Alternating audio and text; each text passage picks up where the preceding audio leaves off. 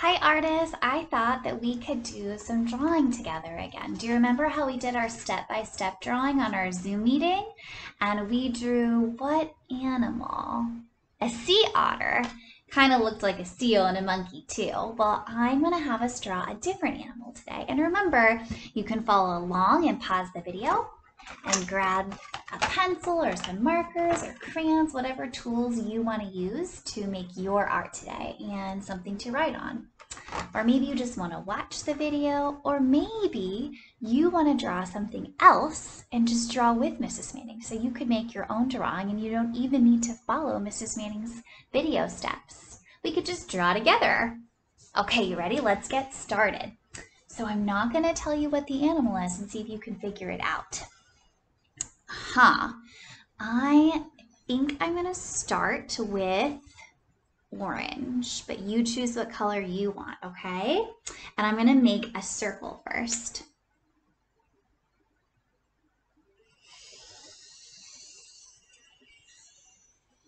Okay. And remember, if you make a mistake, that's okay in art because you can just change it and find a solution. And sometimes mistakes turn into something that you like even better. Okay, so hopefully you have the circle. And now I'm gonna do the ears. And they're triangles. You're probably already thinking, I might know what this animal is, Mrs. Manning. And I'm going to switch my color. I need I could use pink or red. I think I'm going to use pink. And I'm going to do a second triangle inside the ear It's pink. And I'm actually going to color it in. Look, we made a circle and some triangles. How many triangles do we have? Let's see, one, two, three, four triangles and only one circle. We are not done. Okay, the next step is going to be part of the face of the animal. So I'm going to switch to brown, but I could use black. I could keep using orange. It's up to you. You're the artist. And I need to make, hmm, what shape would I call that? It's kind of like a rainbow. So it's just part of the animal's mouth. So I'm going to start on this side and make a rainbow arc all the way to the other side. remember, if I'm going too fast, you can pause the video. I'm going to switch to black now. And I'm going to make the nose. It's a triangle upside down. And it's kind of got curved sides instead of points, just like we did on our sea otter. Okay, I'm going to color in my triangle. Looks like my black marker is running out. Gonna need to get a new one. Okay, and then I'm gonna do the mouth and I just go to the tip of the triangle and I draw a line and I curve it to this side and then I do another curve on that side. I'm gonna go back to pink and make some more circles. I'm gonna go right at the end of the mouth and make some rosy cheeks. My animal has rosy cheeks. Probably because it's feeling so excited and happy that you're drawing it today. Do you know what animal it is yet? Hmm. Looks like one of my sides of the rosy cheek is a little bit bigger, so I'm just going to keep adding rings onto my circle till they're about the same size.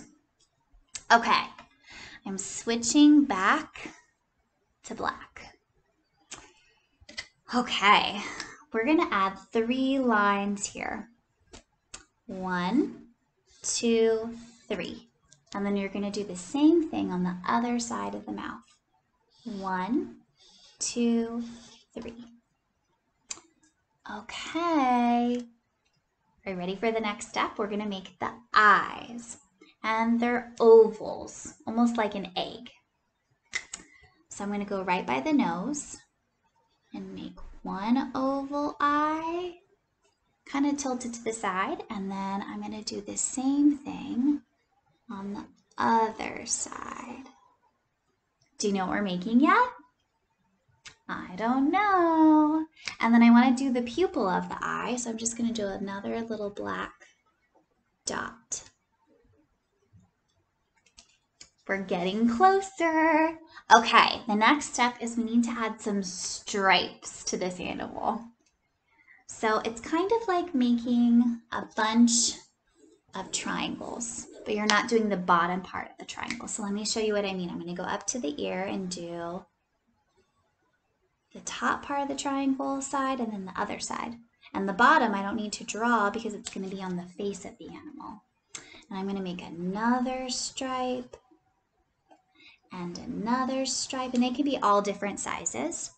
But you'll notice that my stripes are getting smaller as I go down.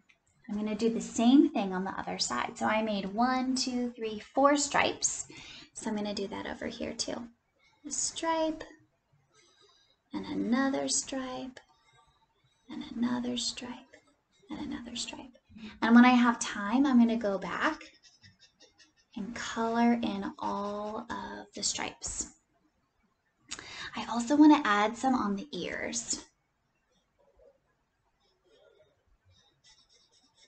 Add some stripes there, and some stripes here. Okay, and if you want, you can um, color in all the stripes now. I'm gonna add a few more stripes and then I'll go back to adding the details. What animal are we making? You probably said either a cat or a tiger. Mrs. Manning is trying to make a tiger, but it also looks like a cat too. And maybe you're making a different animal. So I'm gonna go to the very top of the head. How many of you knew it was a tiger all along? and do another long triangle. So I did a small triangle and a long triangle, and then I'm gonna do one more. And I'm gonna color those in too. My black is running out, so I think I'm gonna switch my marker.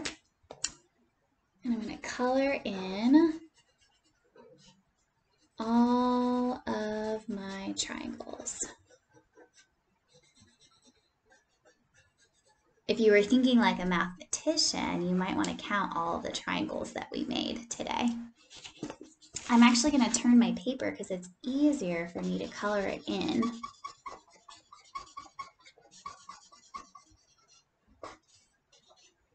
I hope you've been finding time to do art at home. Art is really good for your body. It's a mindful activity. You're still thinking and learning, but you're being creative and your body is more peaceful when you're doing your drawings. It's a good way for me to let all the stress go and really focus on my art. After art, you know what I'm going to do? I'm going to go do a workout because it's also important to exercise your body. Right now, we're exercising our mind and our hearts. And now I'm gonna go after this, exercise my body and still my heart. Okay, so there's our tiger. And what I wanna do is add some crayon colors to it to color it in even more. So I'm gonna look for an orange that I wanna use to color in all the extra parts. And then I think I'm gonna use like a tan if you have one or a lighter brown to color in the mouth part here. Uh, let's see. No, not quite that color. I think I'll use this one. Okay. This one's a desert sand. That works. And I'm just going to go back in with my crayon and color in the mouth part so that there's not so much white. Now we just did the head of the tiger, if you had more room on the paper, you could add the body to the tiger. Think about all those stripes that you would need to add. So many stripes. Hmm, you could even name your tiger. That would be fun. I think I'm going to write tiger on my paper. And remember, what do artists always do? They sign their name on their artwork. So you need to remember before you're done today to put your name somewhere on your art. Now you could do your whole name or you could do just your initials. Sometimes artists do that. So I could write a B and an M for my initials or I could write Mrs. Manning or maybe just my first name. And then I'm going to go back and do some of the orange. That orange kind of looks a little red to me. Does it look red to you? And I think it's the only orange I have in here, so I'm just going to use it. And go back, and now, artist, I don't think I'm to have time right now to color in the whole face, but I could do that after my workout today. I just wanted to show you how you could add some more color and details to your tiger. This would be a great gift for somebody that you could surprise them with in your house. Maybe a family member like a parent, a mom, or a dad, or maybe you live with your grandma or aunt or your uncle. Families are also different. It's whoever you live with, or maybe a brother or a sister, or maybe you just want to make it for yourself and put it in your room. Okay, I'm almost done. I'm going to write tiger. I think I'm going to do it in blue. Tiger. What does tiger start with? T, t, t. I heard a T too. Tiger. Hmm, I think I'm going to write it over here. T, Iger. The long I sound. T, I, G. G. What sound? G. What letter says G? Did you say G? And then er er. It's an er ending, even though you just hear the r. There's er endings at the end of the word in a lot of different words. Tiger. And then what do I need to remember to do? Sign my name. So I'm just going to do my initials, and I'm going to do it at the bottom. I'm going to do a B and an M. But maybe you want to write your whole name today. You can do that too. Well, thank you for doing some drawing with me, and I hope that you find somewhere special to put your artwork. You could even snap a picture and send it to me. I'd love to see it. And I'm going to go ahead and finish coloring in my tiger. Bye, kindergarten!